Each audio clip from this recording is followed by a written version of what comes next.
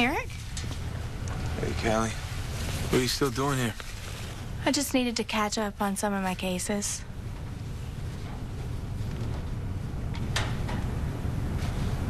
So I figured out what you're doing. I can't wait to hear where this is going. You're leaving CSI, aren't you?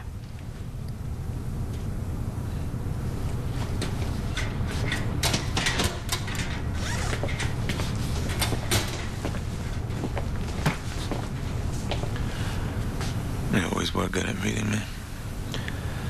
Look, um, let's not tell anybody else for now, 'cause I don't feel like answering lots of questions. I wouldn't. So why are you going? A lot of reasons. Life's too short. Yeah, basically. And what about you and me?